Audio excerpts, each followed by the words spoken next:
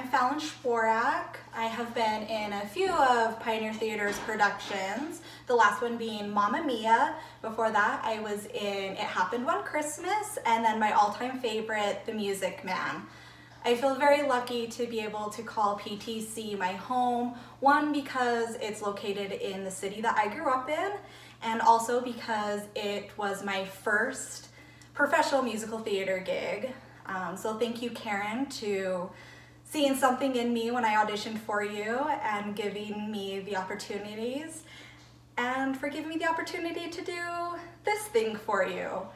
So I'm going to take you back to 2001 when I was 14 years old, spending five days a week in the ballet studio where I was getting ready to perform in Sleeping Beauty as the Lilac Fairy.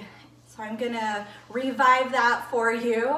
And yes, I am wearing the same costume, just minus the pointe shoes and in a very small kitchen. Hope you enjoy.